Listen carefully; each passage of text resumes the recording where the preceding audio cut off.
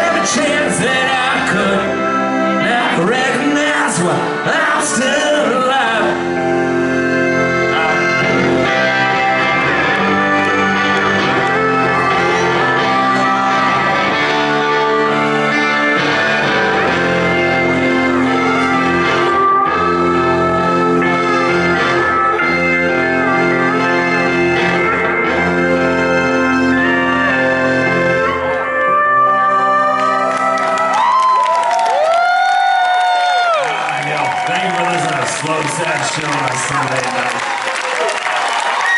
Remember. Man, last time we were here, I was halfway sober.